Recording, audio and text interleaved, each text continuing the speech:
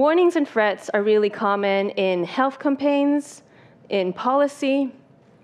It's because we all share this deep rooted belief that if you threaten people, if fear is induced, it will get them to act. And it seems like a really reasonable assumption, except for the fact that the science shows that warnings have very limited impact on behavior.